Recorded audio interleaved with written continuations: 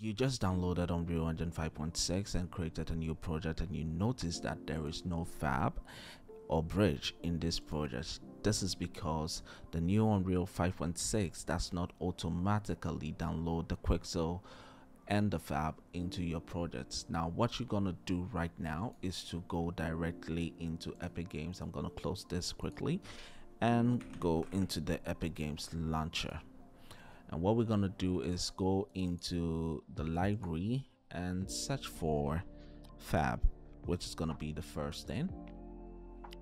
And i'm going to install it for 5.6 and i'll go to bridge which i'm going to type in here and i'll just install it for 5.6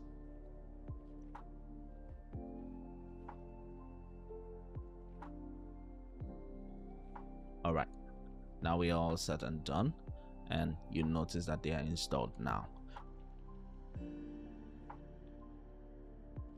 Now we have our project open and you could see that we have quixel bridge in there and i know that majority of you are familiar with how to use this in here because um, i heard they took it out or something like that or it was not working but now it's back.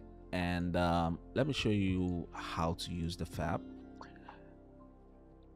now, if you go into the Fab, you need to log in into your account. We have the same kind of um, marketplace, just like the website, exactly as the website. So we will have like categories of stuff that we want. We have abandoned and apocalyptic. Everything is categorized just like um, the Quixel bridge. And um, if you want to export something from here, you just go into my library and there are a whole lot of stuff in my library actually. You might have a different kind of thing in your library. And i want to export out Easy EasyFog into my project or i just want to bring it into my project. I don't need to go into the epic games launcher to add it to my project.